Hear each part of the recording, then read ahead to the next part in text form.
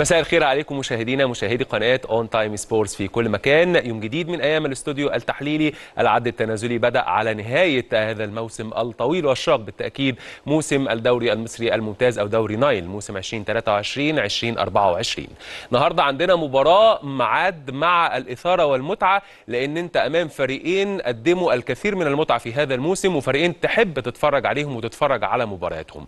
زد إف سي ومودرن سبورت مواجهة قوية بالتأكيد وكل منهما لديه رغبة في تحقيق الفوز والتقدم خطوة جديدة للأمام في الصراع مع أكثر من نادي على المراكز المتقدمة.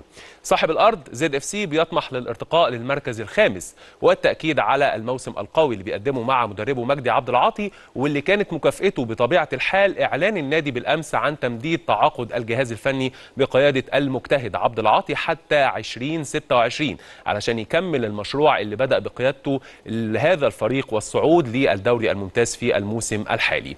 على الجانب الآخر فريق مودرن سبورت اللي وجد ضالته مع المدير الفني المخضرم بالتأكيد كابتن طلعت يوسف عينه أيضا على الفوز من أجل خطف المركز الثالث من المصري البورسعيدي ومواصلة الصحوة اللي بيقدمها الفريق منذ تعيين كابتن طلعت واللي جمع حتى الآن في 11 مباراة فقط 23 نقطة في حين كان في الموسم كله جمع 27 نقطة من 20 مباراة. يعني بتتكلم في حوالي 50% أو ما يقرب من 50% من النقاط لمودرن سبورت جمعها كابتن طلعت يوسف في تلت المباريات اللي لعبها حتى الآن خلال الموسم وبالتالي وصل سريعا إلى المربع الذهبي بعدما جاء من بعيد. الفوز النهارده هيمنح بالتأكيد مودرن سبورت دفعة قوية لتثبيت اقدامه في مربع الكبار ومواصلة المنافسة على إنهاء الموسم في مركز متقدم.